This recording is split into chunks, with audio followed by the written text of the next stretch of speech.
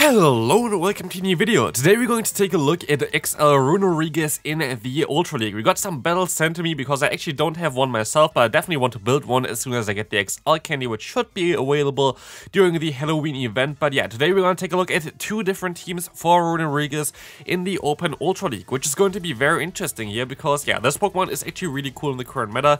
Being able to beat Cobalion completely is going to be very good. As you're going to see actually in the first game, this is not scripted. I didn't look at the games at all, so I don't even know what's going to happen here. And this is kind of ridiculous, getting the Cobalion immediately on you here. Going to be able to still go for the Shadow Ball. Sadly, Sand Tomb is a cool bait move, but in those scenarios, it's just not really that greatest move to go for. So here we see the Shadow Ball going through, which is doing way more damage. Here you can go for a Sand Tomb now, though, if you want to, or you're just going to go for the full farm down, or you're just going to try to CMP here, which you're going to lose. Is the CMP? Yeah, it's kind of unfortunate, but still totally fine.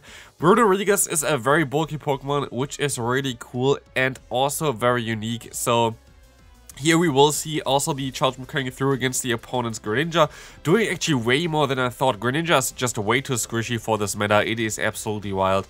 We see the Shadow Ball getting the knockout and in the back we're going to see Virizion, which would have to go up against the Pidgeot of course. Next game, we're going to encounter the Greninja again here, this time around here as well in the lead, where we're going to see either Brave Bird or Feather Dance. It's going to be interesting, it's going to be a bait game here, as you decide to shield this move up, it's fairly likely that the opponent going to expect you to go for the Feather Dance here, and let's see if they're going to let it go through or if you're gonna get their shield.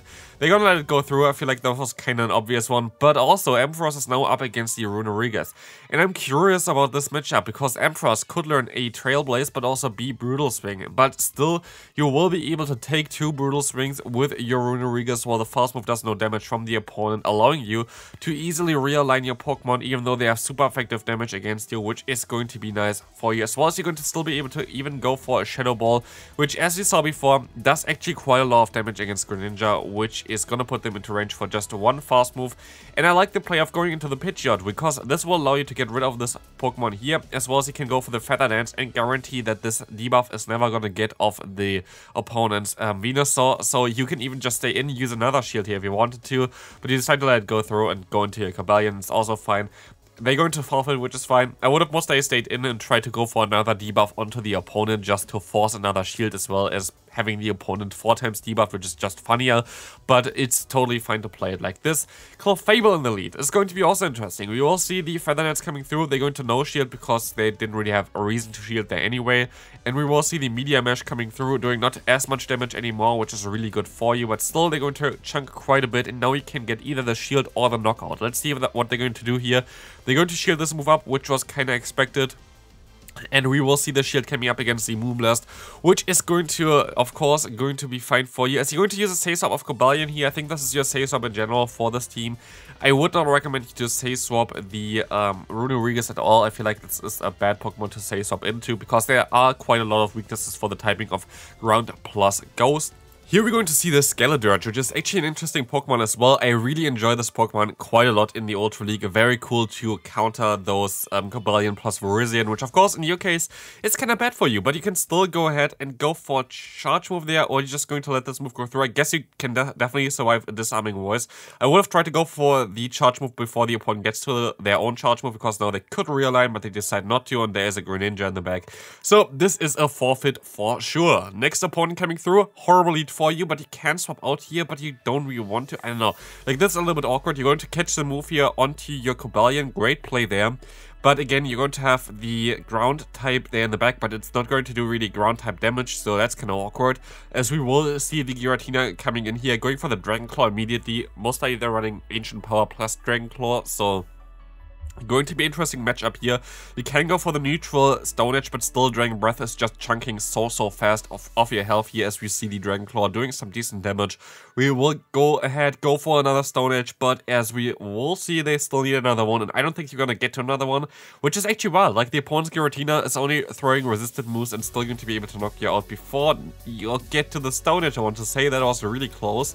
But you're forced to kind of go into your Runerigus here because you need some extra energy in order to deal with the um, Sand Slash. So you have to hope that now the opponent goes into their Sand Slash here and hope that you can still deal with it, but they decide to go into the Golisopod and this is game. I don't think there's a way of you winning this game. This, I think, is only an aerial ace, is it? Yeah, it is only an aerial ace, but you still have to kind of shield this move up. Like, yeah, there's nothing that, that you can do here. It's, um, I would be curious if this actually is something that you can still do in this matchup. You can still try at least to go for the debuffing move against the opponent with Feather Dance. Still, like, Brave Bird does around 50% HP from this health, which is kind of funny, even though it is resisted, but, um, honestly, it looks so, so bad for you. You're going to wait until the opponent throws their move because they can survive another one before the Brave Bird, which is smart. But let's see. We will see the Brave Bird coming through here. This is going to be such an uphill battle. The opponent going to decide to shield. You can still go for another one. But they still have the Golisopod in the back anyway. So here we see the Brave Bird coming through. Gonna get the shield. You can swap out. You can throw the move in time. But I don't think this is gonna get the knockout here yet either, right? Yeah, it doesn't. The opponent stops into the Golisopod.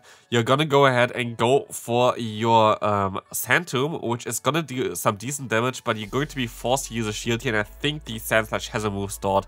But it was way closer than expected expected, so that's totally fine. They survived with 1 HP, so great way of playing this one out. I guess you did the best what you could do here, but it was still a little bit awkward. Next opponent, great lead for you here at least. We're going to see the Jellicent against you on the lead, which is something that usually Pidgeot can win fairly easily, as we will see the Surf coming through. We will going to now see um, the uh, Feather Dance, which is going to drop the opponent's attack, and we also see the swap out into the Drapion, which you can at least retaliate with Cobalion, which is a great way of destroying like those, um, yeah, Drapion in general, especially as it seems like that they are running Sludge Bomb plus Crunch, so you resist everything from the opponent.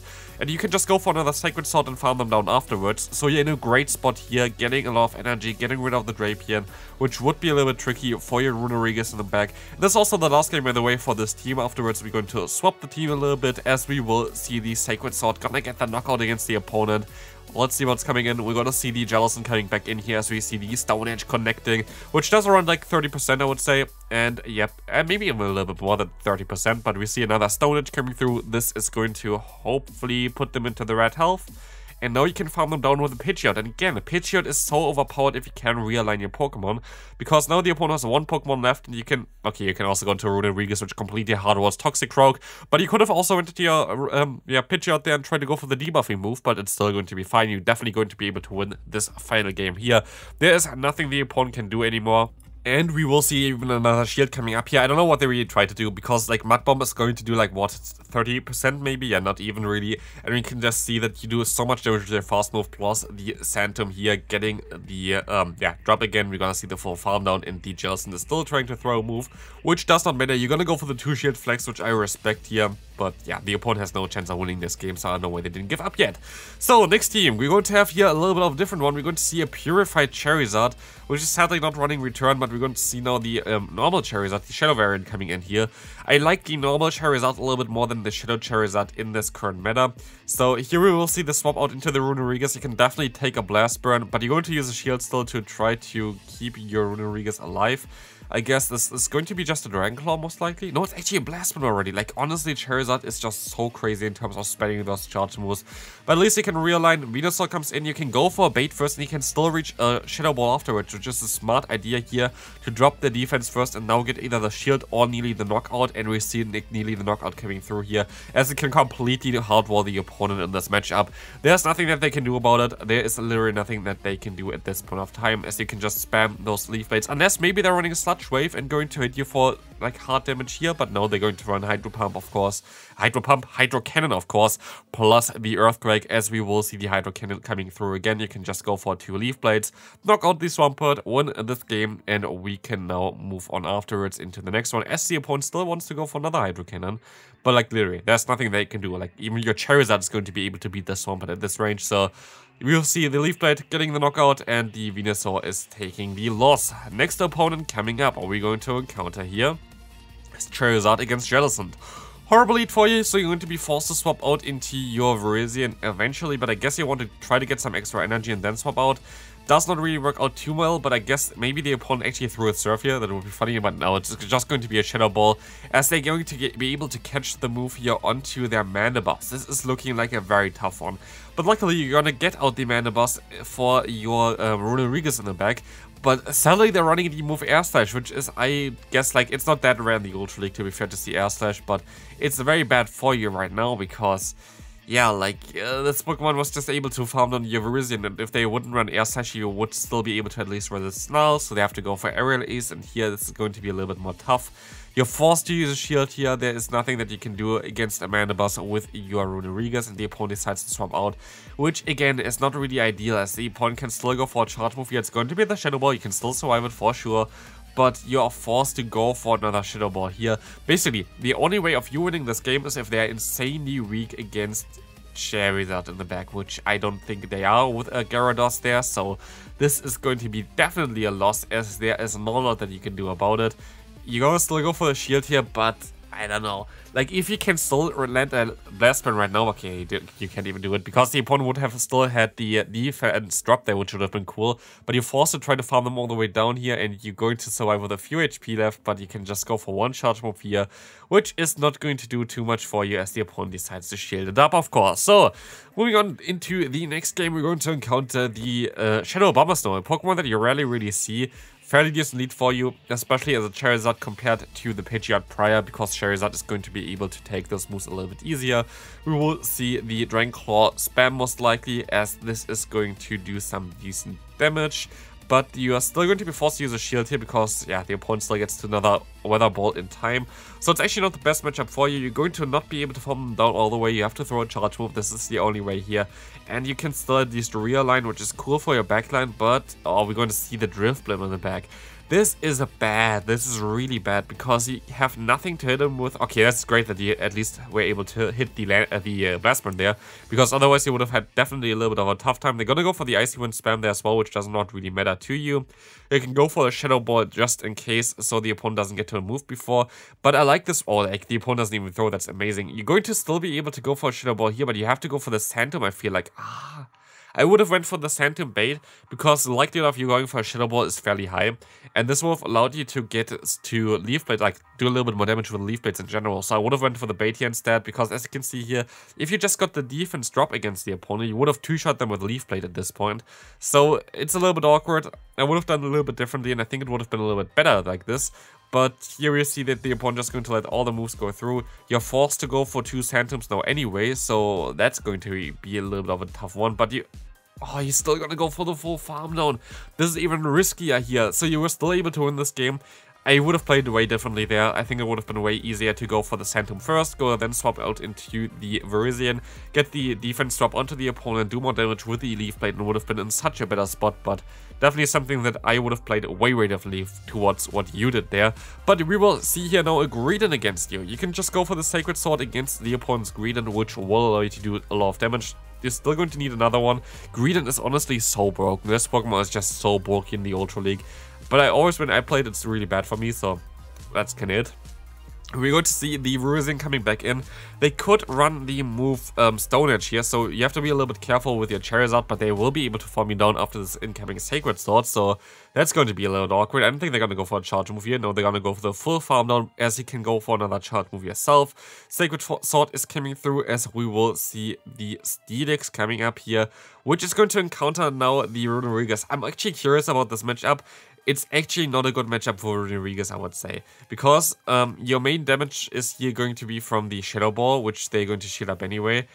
And Sand Tomb is not really going to do too much damage, and the opponent going to debuff you the entire time. So it's a tricky one. You are getting a shield advantage here at least, but I guess you're just going to save everything up for the Charizard, which does make a lot of sense here. So you're going to just wait until the opponent throws another charge move, which they won't do here. They're just going to stay in. And here it might have been better for you to swap out with a Shadow Ball Start because you were so debuffed.